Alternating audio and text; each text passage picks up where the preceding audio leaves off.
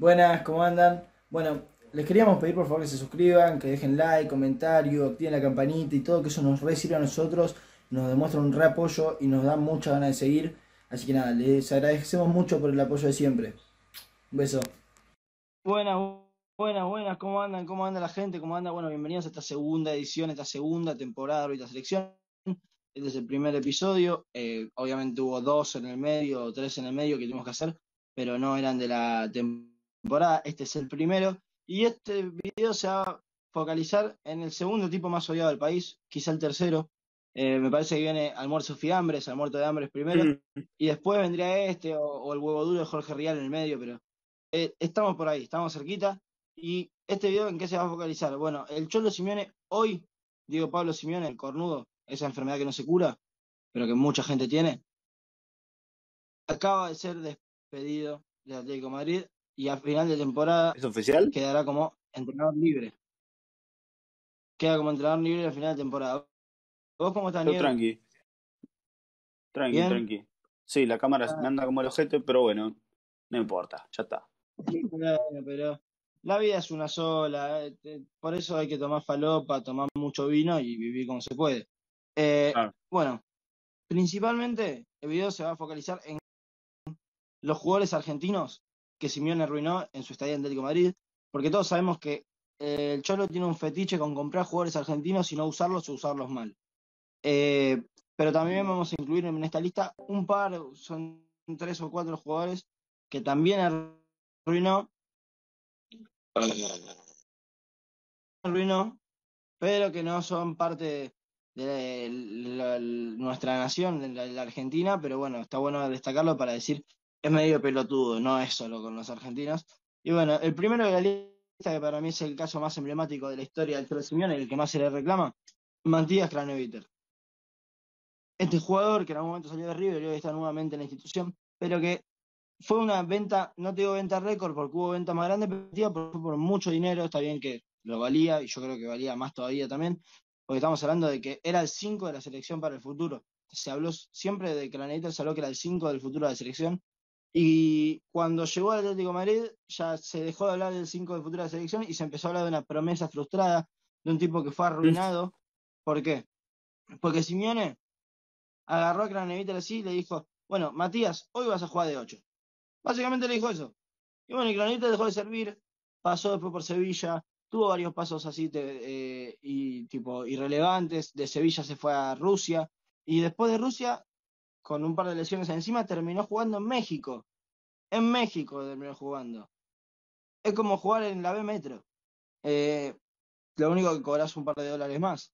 Pero bueno, eh, ese caso emblemático de Gran Editor nos lleva a un disparador gigante de jugadores, una lista enorme de jugadores, son 10, 15 jugadores argentinos que fueron frustrados por Simeone. Simeone les arruinó la carrera y ahora Niedu nos va a tirar uno más para esta lista. El de Nico Gaitán, también que, tenía mucha proyección y comió banco lo loco, no jugó y ahora terminó, no sé ni dónde está Nico Gaitán, creo que está en, alguna parte de Medio Oriente. Eh, no sé si está, creo que no sé si ahora está en Portugal, pero sí que jugó en China y jugó en, en Arabia también. No, lo de Nico Gaitán es impresionante, un tipo que cuando se fue de Boca se iba como una gran promesa, no una gran promesa, sino se iba como una realidad, porque se sabía de las cualidades que tenía y ya era un tipo que en el instante que se va de Boca era considerado por la selección argentina, después tuvo eh, pequeños pasos por Europa, pero cuando llegó al Atlético de Madrid su carrera se vio terminada. Eh, ahí por eso 2015-2016 Gaitán llega al Atlético de Madrid y deja de jugar a fútbol directamente porque el Cholo Simeone, no sé, boludo, lo, lo- lo llevó para que le lleve las medias. Era como el meme, ¿viste? El de, Mm. el de, ¿cómo se llamaba? El de Agustín de Gran Hermano teniéndole el, el espejo a otro mientras se corta el pelo. Sí, cuando se lo tenía Era, al otro. era ese meme, boludo. Gaitán era el, el- literalmente el aguatero de ese equipo. Un tipo que literalmente fue arruinado por el Cholo Simeone. Tengo otro para tirarte a vos, Niego. A ver, diga, diga. Uno que para mí es el caso más emblemático después de Graneviter, me parece hasta más que lo de Gaitán. Y estamos hablando de un tipo que cuando tenía la pelota en su momento, y hoy también lo sigue haciendo, pero un tipo que cuando tocaba la pelota hacía que todos se levanten, pasaba en Bayern Múnich, gloria de estudiantes, gloria de varios equipos en todo lado donde fue, es querido menos Atlético de Madrid. ¿De quién estamos hablando? Del principito José Sosa. un tipo arruinado totalmente por el Cholo Simeone. Un tipo que lo veía jugar y las venas, no sé cómo estaban, a reventar. Es que se te llenaban las venas cuando lo veías a ver al principio. Bueno, hoy se te llenan. Yo creo que la, la gente de estudiantes de La Plata hoy está en el clímax, está literalmente, se levanta con el cholado, se tiene que pasear dos veces para poder seguir con su día tranquilo. Eh, es impresionante el jugador que es el Principito de Sosa. Hoy ya con 36, 37 años nos sigue demostrando que la edad es solo un número, porque el, el chabón no se lo ve deteriorado, juega igual que siempre, sigue siendo una bestia, pero lo cierto es que cuando estuvo en el Atlético de Madrid brilló poco y nada. Sí, pasó sin pena ni gloria. Y hablamos del siguiente. Sí, tiramos uno más. Eh, Luciano Vieto, ex Racing, un jugador con características muy parecidas a las de Julián Álvarez, que eh, terminó literalmente en Arabia Saudita por culpa de Simeone.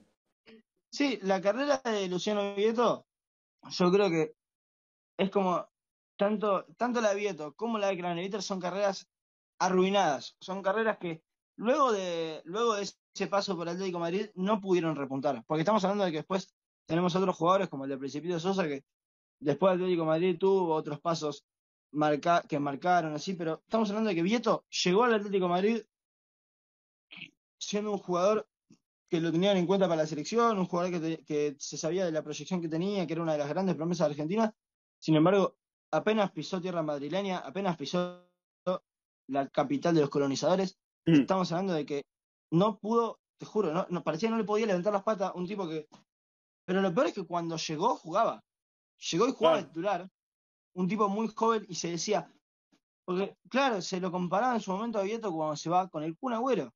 Y pasó de que lo comparen con el Kun Agüero a tener que estar chupando de los pies a un jeque para ver si le pueden pagar el sueldo.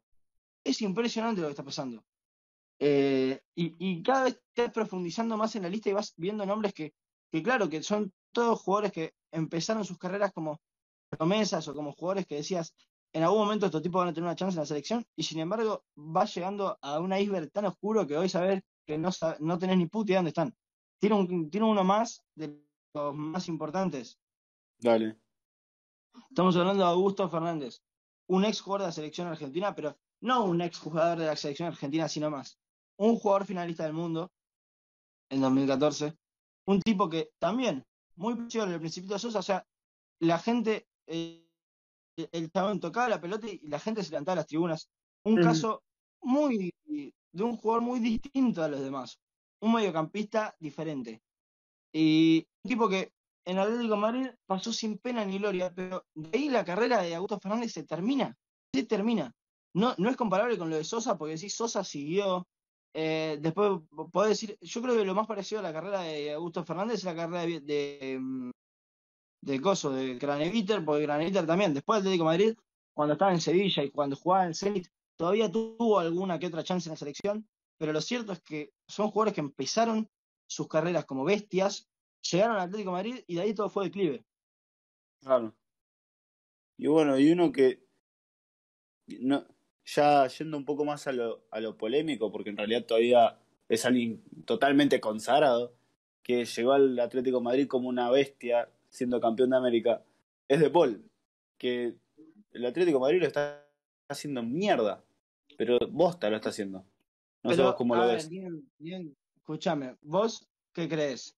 ¿Que es 100% culpa de Simeone? Pues para mí hay un 50-50. No, no. Para mí Es hay un bueno, 50-50, un 50 culpa de Simeone y un 50 culpa de Paul. La culpa de Simeone la tienen que lo hace jugar de una cosa que no juega él y que lo hace jugar en un equipo que juega para el orto. Por eso, no me dejaste terminar. A eso es lo que iba, que es Perdón, un perdón, 50-50. Sí, sí, sí, es que sí, boludo. A ver, ¿vos, qué, vos crees que si, que si Simeone no fuese el técnico y fuese otro, otro totalmente diferente, De Paul, ¿hubiese sido- seguido siendo lo mismo que Udinese?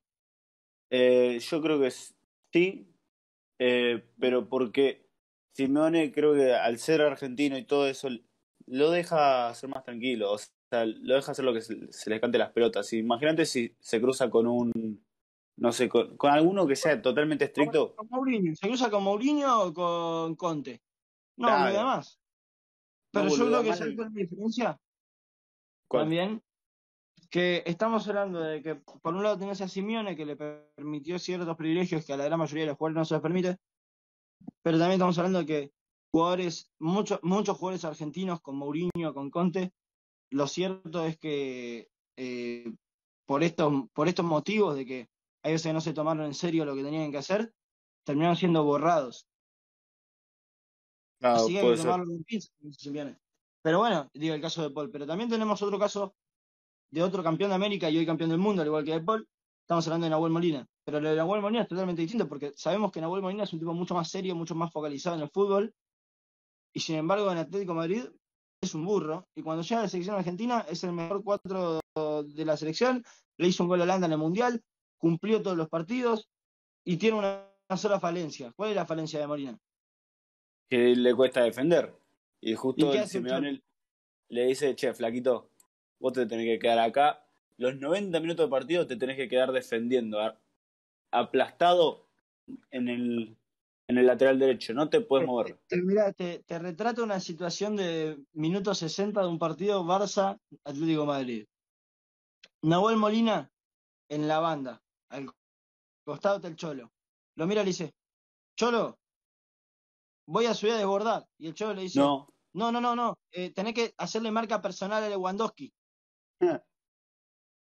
Y, y por eso también se lleva tantas críticas Molina en, en Twitter o en los diarios, bueno, los diarios, en, en los medios españoles. En el chiringuito a Molina lo matan. Y Molina es un crack. Ah, Molina es una bestia que Simeone logra lo que pocos logran, que es que las bestias sean más criticadas que los mediocres. Es impresionante. Te juro que es impresionante. Pero bueno, después tenemos un caso totalmente distinto. Yo creo que es el único jugador que podemos decir que Simeone potenció, que después le haya dado más minutos o menos minutos, porque ha traído jugadores que son, es más, te digo, mejores, como Joao Félix o como Griezmann, que le taparon el lugar. Eh, pero lo cierto es que Ángel Correa llegó siendo una promesa y hoy es una realidad. Hoy Sí. es un, una opción muy importante de Atlético de Madrid. Eh, si no me equivoco, eh, después de Griezmann, que tuvo muchísimos más partidos, muchísimos más minutos y es mucho más delantero, eh, después, después, va, de- delantero, tiene muchas más chances de, de llegar a gol, porque no es más delantero que Correa, pero ah. después de Griezmann creo que es el jugador con más goles en Atlético de Madrid que tiene la plantilla. Sí, no, no se me ocurre otro tampoco. Porque después, o sea, te- después tenés otros jugadores, pero que tienen muchos goles, pero no en Atlético de Madrid, por ejemplo Morata. Claro. Pero lo cierto es que muy pocos jugadores tuvieron la vigencia, tuvieron tanto tiempo a buen nivel en Atlético de Madrid como Ángel Correa. Esa se la damos a la derecha al Cholo Simeone de que es una de las mejores de las mejores compras que hizo desde que está en Atlético de Madrid y el mejor argentino sin duda, porque los demás son todos malos. Eh. Después tenemos otro, tenemos otro que también es un caso a destacar. Estamos hablando de un tipo que también jugó un mundial. Y jugó un mundial que los argentinos todos desearíamos borrar de nuestra memoria, de nuestra existencia. Estamos hablando de Cristian Jacuzzi en Saldi. Un tipo que también, o sea, más de lo mismo que de Paul. Por más de que estamos hablando de un tipo que es obviamente inferior, obviamente son también posiciones diferentes, pero obviamente eh, que si ponemos a los jugadores en clase, ponerle que tenemos jugadores clase A, clase B, clase C, clase D, así, Ansaldi no, no sube de clase C ni en pedo. No, por eso. Es un medio pelo, que siempre supo, lo que se sabe que supo manejar los dos perfiles. Igual yo te aseguro que no hay persona en, que esté viendo este video, y nosotros los dos menos, que haya visto más de 10 partidos de Cristian Ansaldi.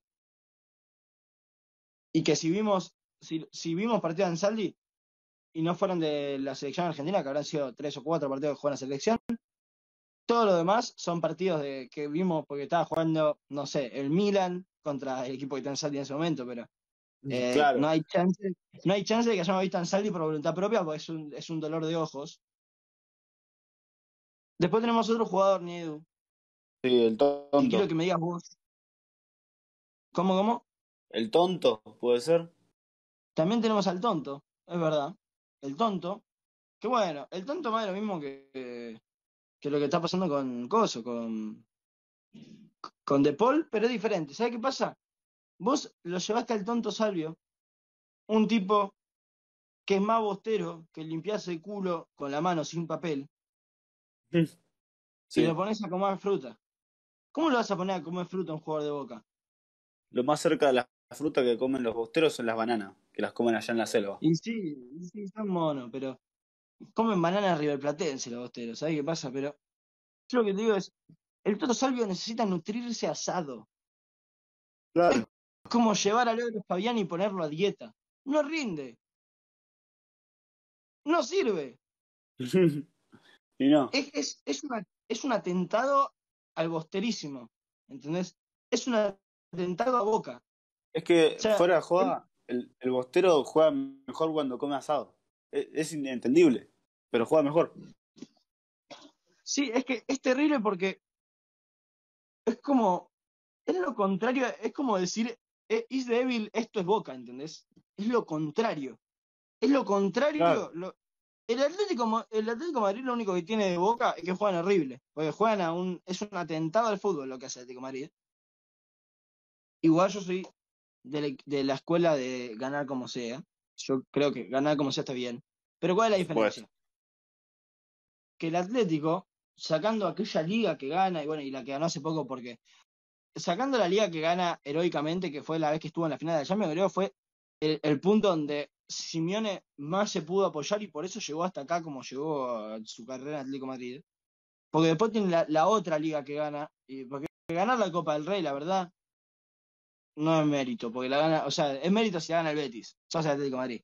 Claro. Pero después tenemos, tenemos otros, otros torneos que decidimos, bueno, la, la liga esta que gana hace poco, la ganó porque ese año estaban jugando entre el Real Madrid y el Barcelona a ver quién era más malo. sí. La liga, creo que fue la liga post-Messi, la primera post-Messi, ¿no fue? No, fue la última de Messi. Fue la última. Que dirigía la última de Koeman Messi. igual. Sí, no, no, es que era un- la liga española ese año era un atentado a la vista. Eh, estamos hablando de que no estaba más Cristiano Ronaldo, Messi se quería ir. Era un quilombo lindo igual. O sea, fíjate que fue el primer año de Joao Félix y se hablaba de Joao Félix como si fuese eh, el nuevo Cristiano. Claro. No, fue, ese fue el segundo año de Joao Félix. El primero fue la del el, COVID. primero, el primero jugando, porque cuando llegó, cuando llegó, llega, llega lesionado, ¿te acordás? Ah, es verdad. Juega al final de la temporada. Sí. Y tengo un par de jugadores más en la lista que yo creo que solo hay uno que vale la pena mencionar, capaz, que es Nehuen Pérez. Sí. Eh, lo de Nehuen. Pérez, yo creo que el solo no le arruina la carrera, pero sí se la frena, se la corta. Eh, porque tuvo, Nehuen Pérez tuvo varias, tuvo, creo que hasta hace cuatro años eh, propiedad del Real Madrid, de Atlético Madrid. No estoy seguro si hoy en día ya es propiedad de Udinese, si Udinese usó la opción de compra o si está préstamo todavía. Lo cierto es que seguramente no siga siendo jugador del Atlético de Madrid, eh, a menos que ahora que se va Simeone, el próximo técnico, tenga muchísima ganas de contar con, con Nehuen. Pero lo cierto es que hoy está mucho más cerca de quedarse en Italia que irse a, a España de vuelta. Eh, es un Por tipo suerte. que se fue muy joven al Atlético de Madrid, no me deje mentir, pero se fue muy joven y lo mejor de Nehuen Pérez se vio cuando vino a jugar acá a Argentinos Juniors y el Atlético Madrid varias veces le negó a River un préstamo. Eso yo lo, la cúspide de la estupidez fue eso de del Cholo Simeone. Un tipo que no lo vas a usar que puede venir al mejor equipo de América, porque cuando River lo quería, era el mejor equipo de América sin ningún tipo de dudas, porque fue, eh, lo quería para 2019, que fue la Libertadores que pierde River la final con Flamengo, que en ese momento era indiscutiblemente el mejor equipo de América. Después Sí. River intentó varias veces, pero en ese momento, cuando le dice que no, estamos hablando que el tipo no quería que, parecía que Nehuen Pérez no, no querían que Nehuen mejore. O taparle la carrera trayéndole jugadores como Felipe, tipo grande, eh, que también aparte de la compra de Felipe es algo estúpido porque vos decís, tenía, tenían a Godín en condiciones en su momento y le querían dar solo un año de contrato. Claro. Un tipo ya era grande. el tipo ya era grande. Y la política de Atlético de Madrid habla de que si vos tenés más de 30 años, te renuevan solo por un año. Y después al otro año se ve si se si te renuevan de vuelta y así. Claro. Lo cierto es que le- le- no, no le querían ofrecer un contrato de dos años a, a Godín, que tenía 34, 35 años, y dice, vamos a comprar a Felipe. ¿Cuántos años tenía Felipe? 33. Sí. Y le dan Un sinsentido. años.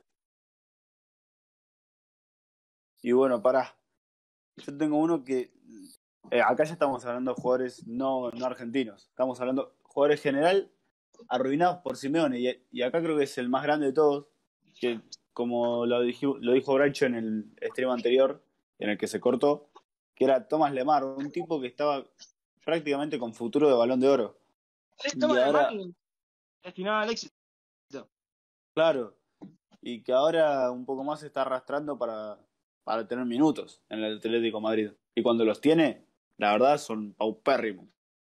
Si queremos hablar como intelectuales. Nieu, acordate, no me dejes mentir, de verdad te digo. Acordate que cuando eh, se va Mbappé, en el Mónaco están Martial y Lemar. no, y no, cuando no. viene- Bueno, No, Martel no estaba. Martel estaba en el, en la- en el United. Me parece que Martial se va después. O, re- o se va al mismo mercado que Mbappé. Pero lo No, cierto no, es, antes. no, no estoy yendo, no estoy yendo a- al, al tema Mónaco, estoy yendo a las cláusulas que ponía Mónaco. Sí.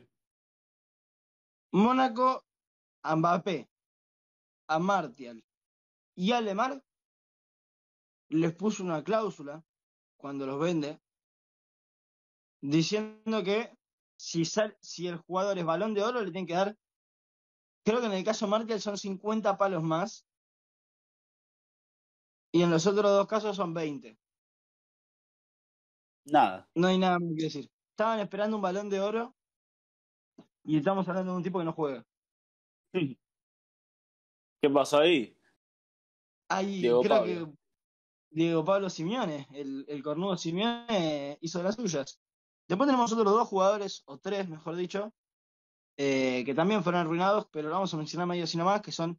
Bueno, no, eh, vamos a profundizar en, eh, en un caso y en otros no. Estamos- primero, Miles Villar. Eh, no sé si te acordás, Miles Villar, el arquero promesa que tenía el Benfica cuando se va Jan Black. Se va Black, Sí. es más, mira, esto, esto es así de simple.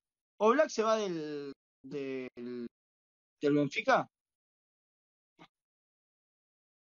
y dice y el y lo compra Atlético. ¿Qué quiso hacer Atlético cuando lo compra Black? Cedérselo a Benfica. Y Benfica le dijo, no, no, tipo, ya está. Llévatelo. Estamos hablando de que esa era otra mala decisión. Porque está cediendo al que hoy es el mejor arquero de. Bueno, no, no sé si es el mejor, pero en su momento fue el mejor arquero del mundo, yo creo, hasta que, hasta que Courtois volvió a repuntar. Sí, totalmente. Eh, Pero después tenemos eh, el caso Swillard, que es muy similar, pero al revés. El Atlético lo compra y no lo usa. No se lo quiso prestar. Eh, el Benfica lo quería. Terminó volviendo dos años después, libre a Benfica y hoy no juega. ¿Por qué? Pero igual es otra cosa porque es arquero. Claro. Pero es otra carrera arruinada. Y después tenemos dos casos icónicos de la carrera de Simeone. Primero vamos a hablar de Renan Lodi, un tipo que es un 50-50, más o menos parecido. Es parecido a Paul, pero diferente, porque no estamos hablando que el tipo boludea, no sé su vida personal. Sino que Pero nivel. sí, estamos hablando de que eh, llega al Atlético de Madrid como una bestia, como una de las promesas del fútbol brasileño, de una gran Libertadores con Atlético Paranaense, que contra River la rompió toda, si, no, si te acordás. Y Sí. se va, se vaya al Atlético de Madrid. Lo cierto es que alternaba entre, entre titularidades y suplencias. Post Copa América 2021, donde se manda el cagadón en la final, desapareció Renan Lodi. Futbolísticamente su carrera fue un declive. Y yo creo que no hay responsabilidad en que la carrera se frustre, sino que la responsabilidad Jiménez está en, en no tratar de repuntarla y mandarlo a jugar al Nottingham Forest. Claro. Porque estamos hablando también de un tipo que, si sabes que tiene las condiciones que tiene, y ves que se está si su carrera se está desperdiciando por un error en un partido, también que fue un partido de lo más importante de la historia del fútbol sudamericano, porque era una final Argentina-Brasil en el Maracaná, que termina ganando Argentina, y era el título, es el título argentino después de más de 20 años. Estamos hablando de un tipo que prometía muchísimo, y, lo regaló. Va, regaló, sacaron unos buenos mangos, pero estamos hablando de un tipo que si se quedaba un par de años y Simeone de verdad lo ponía a hacer las cosas como tenía que hacerlas, estamos hablando de uno de los mejores laterales del mundo. Y el último caso y más icónico, explicarlo vos mejor, el caso de Joao Félix. Joao Félix. Como dice el Benito, soy de River, es un jugador, el jugador peor asesorado de la historia. Pasó del Porto al Benfica, que ahí ya pasar a tu clásico rival es algo más o menos mal. No, no está tan mal. Bueno, puede pasar. Después pasa al Atlético Madrid, buena oferta, uno de los fichajes más caros de la historia, el más caro del club, claramente. Eh, y ahí pasa por ahora sin, sin ser ni siquiera la mitad de lo que se esperaba de, él. Y ahora mismo está yendo, va, ya cerró, no sé si se oficializó hoy tu llegada al Chelsea o fue ayer, no me acuerdo. Sí, ya está entrenando en el Chelsea. Ya está entrenando. Y en uno de los peores Chelsea de los últimos años. Es increíble. El jugador peor asesorado de la historia, pero que con Simeone, lástima, un poco más, Simeone lo manda a jugar de 8, de 4, de 3. Era, es literalmente el del soldano de soldano de 8. Sí, es literalmente el caso. El mismo caso. Y este fue el primer video de la temporada de la selección. Muchas gracias a toda la gente. Es impresionante lo que nos está pasando. Estamos hablando de que tenemos un video con casi, hoy a la noche va a llegar a 4.000 visitas. No lo podemos creer. Todavía no lo podemos creer. Eh, no nos dejaron tomar vacaciones porque son unos hijos de mil putas y se portaron muy bien y miraron todos los videos, le dieron like, comentario, como van a tener que hacer con este. Eh, lo cierto es que estamos eternamente agradecidos y nos dieron mucha fuerza para seguir. Niego unas palabras para los pibes. Eh, bueno, muchas gracias a todos por bancar. Ahora, cuando pueda solucionar el tema de la computadora mejor, porque no me pude, no pude aparecer en todo el stream.